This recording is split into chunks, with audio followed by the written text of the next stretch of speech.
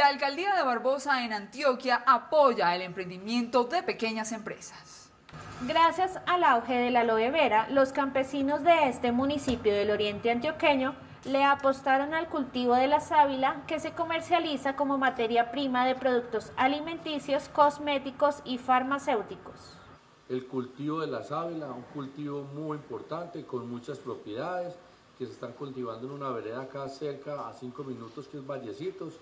Creo que es una buena iniciativa, al igual que otras veredas donde están cultivando también este tipo de, de actividades que son muy emprendedoras y que ayudan mucho a los campesinos, a los empresarios del campo a poder comercializar este producto y a mejorar una calidad de vida.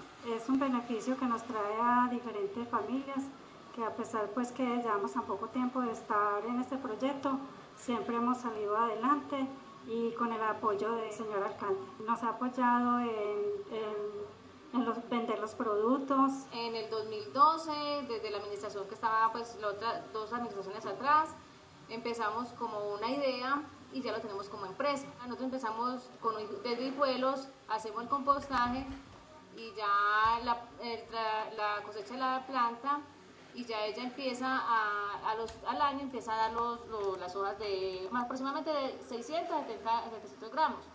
Ya cogemos la hoja, le hacemos la limpieza, le hacemos todo el proceso, las, sacamos el cristal, ya el cristal lo sacamos en, en estrato y ahí lo vamos transformando en productos. Este programa surgió de unas capacitaciones con el SENA por parte de la administración, de, pues con la agricultura y con los apoyos de los alcaldes y con ayuda de Fundación Social, que ellos nos han apoyado harto en esto, entonces han estado varias entidades que nos han estado apoyando, tanto administración, fundación y el SENA.